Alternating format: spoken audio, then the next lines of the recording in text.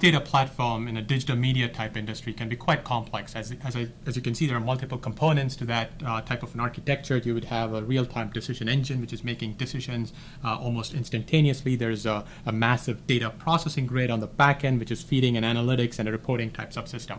Now, there's a lot of complexity associated with building and architecting this type of a solution. And I want to walk you through some of the considerations to keep in mind uh, when you're trying to build or architect this type of solution. Now, the first and foremost thing is, is scale, right? So how does uh, this particular architecture scale uh, with, with different parameters. Now the interesting thing is each of these components actually scale differently and they have different parameters that drive scale. Uh, the real-time decision engine scales based on the number of events that are hitting. So the more machine-generated events or the more humans that are interacting with it causes it to have to scale. Uh, the data processing grid, on the other hand, scales based on volume of data, right? And also the frequency at which it needs to uh, process that data. The analytics subsystem scales based on the complexity of the computation and frequency at which you're running those uh, uh, computations, right? So number of models you have uh, and how many times you're invoking those models. Um, the reporting uh, subsystem typically has, scales based on the number of end users, the number of reports you're running, uh, and the types of queries, whether they are ad hoc type queries or they are actually uh, much, much shorter, more predictable templatized queries. So there are a lot of different criteria that, that drive scale, and scale depends on the actual component itself. Then the type of data also actually uh, is very diverse and that determines uh, and that's a key consideration for example, in this side of the uh, of the ar architecture, the real-time decision engine and the data processing grid, the data is usually um, semi-structured uh, and maybe even unstructured, right? So we're talking about text and tweets and those type of things.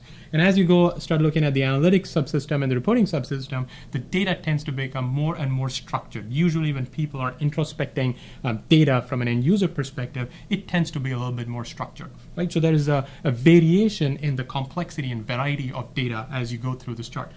Another thing that drives um, this particular uh, architecture is workload, right? As you can see, um, each of these components actually manage different types of workloads and have different workloads characteristics. Uh, the real-time decision engine has to be able to make decisions in real time. It's sub-second, sub-millisecond type uh, response rates. So typically you're looking at uh, very high write throughputs. Uh, you're looking at in-memory type systems wherein you can retrieve data very quickly. The data processing grid um, is doing a lot of a long running data processing, a lot of transformation uh, type activity. So it's a slightly different type of workload. Uh, it's a balance of both I.O. and also uh, compute. Um, the analytic subsystem is typically very compute intensive, uh, and at the same time, you're also doing a lot of disk I/O. You're you're doing full table scans. You're looking at uh, large volumes of data, doing aggregations, and you're also running uh, fairly CPU intensive tasks. Um, the reporting subsystem has to deal with a very uh, a diverse set of workloads. You're doing trickle feeds and updates into the system. Um, you have short queries, and then you have ad hoc queries. So balancing and finding the optimum workloads by system also is, is can be quite a challenge.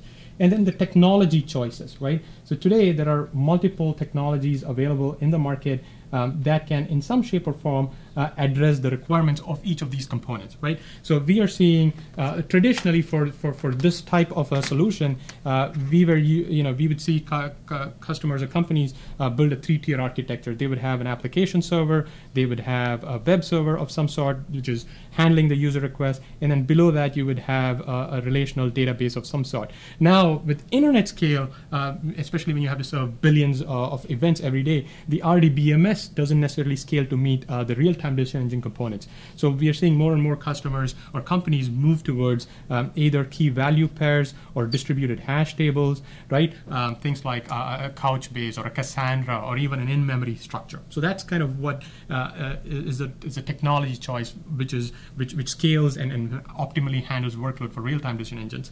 Uh, for the data processing grid, uh, we are seeing emergence of Hadoop as a very uh, valid and, and, viable choice, uh, simply because it's distributed, it's parallel, uh, you can use different programming paradigms, primarily MapReduce, to access and process data.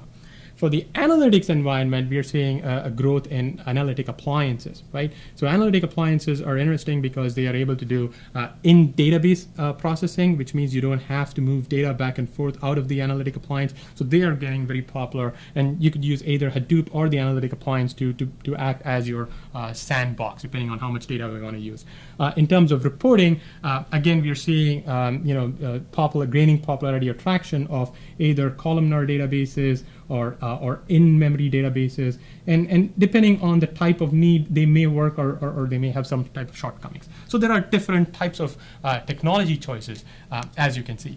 And uh, so one thing is, is fairly clear, putting all of this in a single monolithic um, enterprise data warehouse no longer makes sense because as I said, they all scale differently, they all have different workloads. So you have to really think about multiple components. Now, when you start putting multiple components in place, obviously that creates an integration problem, right? And integration can be most costly, uh, difficult to maintain, and uh, may have uh, may add latency to the whole system because you may be replicating data. So that's why you have to think about strategies like uh, smart consolidation, which IBM is promoting, to make sure that all the different technology components addressing the solution work seamlessly and work very well.